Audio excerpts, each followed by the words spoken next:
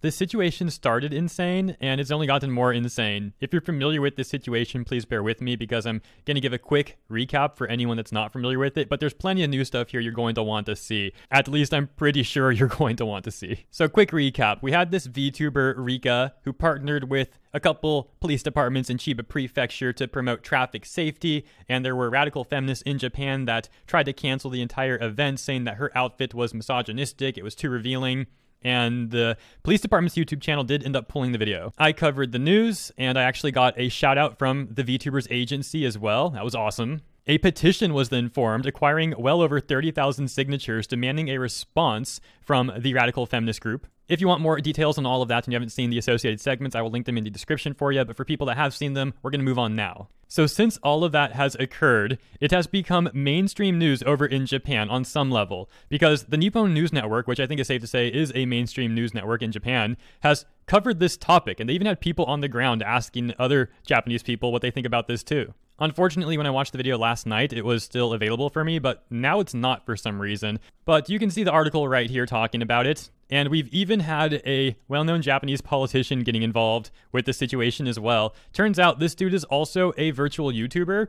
And get this, he also attended the wedding of the gentleman who has married Hatsune Miku.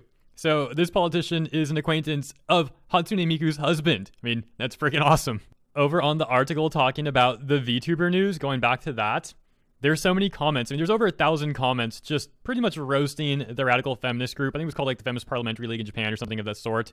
Uh, for example, right here, they talk about like it's just the reaction of a, of a, of a minority. Excuse me. I just can't stop laughing at this. Like, I'm, I'm trying not to laugh externally, but internally, I'm like so so thoroughly amused right now. I, I can barely suppress it talks about ignoring the minority claims and that the feminists are essentially just a minority. Of course, this is a translation that's scuffed, but I think it's safe to presume, you know, some of the context here. This is a big problem because lawmakers pressured uh, to remove it because this group didn't like it. It's censorship of expression and a communist act. Jeez. Uh, it's just a pressure group, isn't it? Realize these people are destroying culture. I mean, dude, it goes on and on. Apparently, the Feminist League has also responded Right here, they say in the article, on the other hand, the National Federation of Feminist Parliamentaries, who issued the protest statement, said, quote, I know that the protest statement has caused a lot of noise. Uh, uh, the protest statement being them, you know, demanding that this thing gets removed, I, I presume.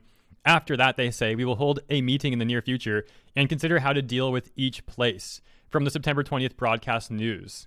And I see Japanese people in the comments also saying, like, shouldn't they have held a meeting before they got all outraged and like said that this VTuber was problematic and demanded that the promotion was pulled. Again, let me remind you, although you don't need a reminder, but I'm going to drive the point home a million times. The event, the promotion, was to promote traffic safety. It was simply to help people. And this radical group got it removed. Apparently, their offense towards this VTuber's very simple and basic outfit is more important than promoting public traffic safety. That might not be the end of this, though, because the VTubers agency has demanded that a set of questions are answered by the Feminist Parliamentary League. If, if I recall, there was about five questions, and they were demanding an answer by September 25th. So it kind of sounds like the league is going to ignore those questions.